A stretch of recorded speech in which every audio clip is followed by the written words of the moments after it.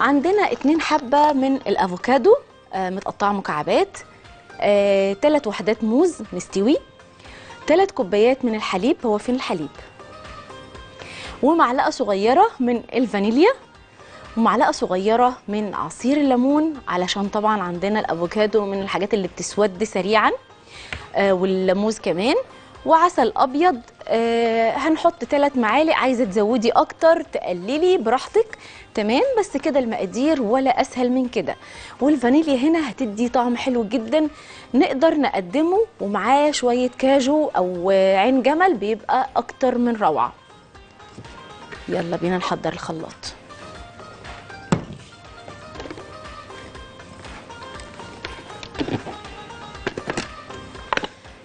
يلا ادي الموز.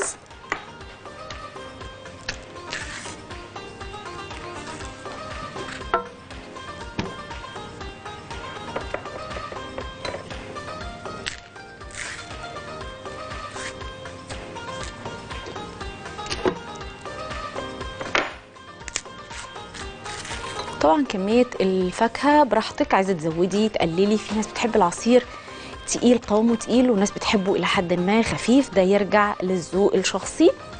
عندنا ادي الأفوكادو.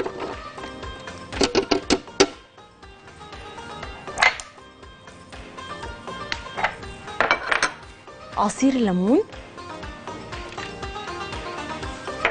والفانيليا.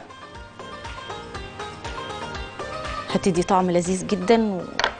آه طعم كده حلو بيخلي العصير طعمه روعة. وعندنا العسل.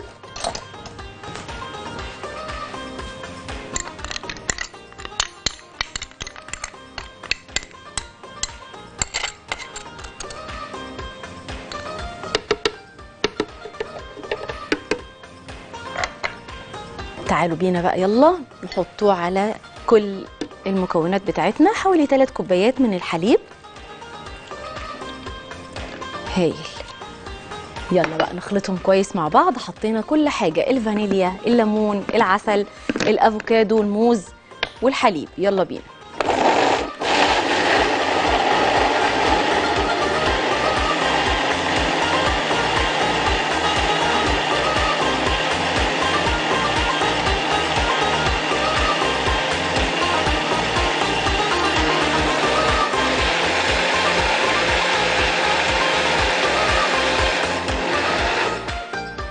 حلو قوي. جاهز معانا العصير زي الفل. يلا بينا بقى نصبه. نحطه فين؟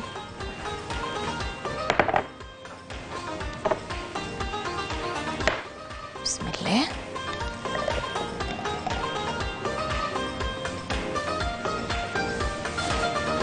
طعمه بيبقى خطير بصراحة.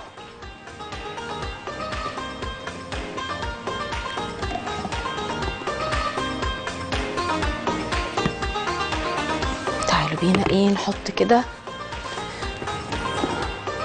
فين يا جماعة المعالق؟ تعالوا نحط تلج. ممكن معالق تدخل.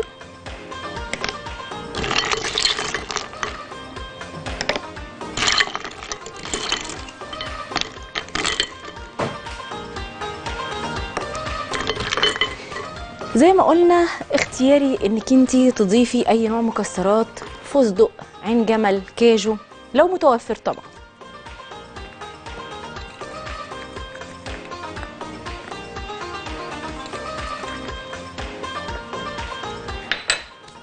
يلا وش ليمون